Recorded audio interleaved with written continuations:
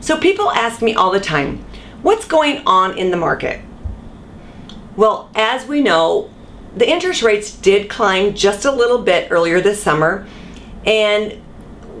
things were kind of exciting a little bit out in the market and buyers were scrambling to get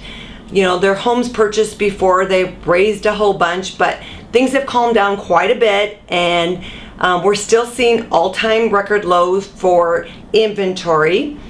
and so I will emphasize that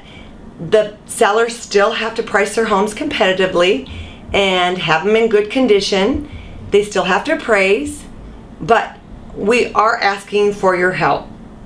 If you do know anybody who is thinking about selling now or in the near future, we do have buyers out there looking for homes.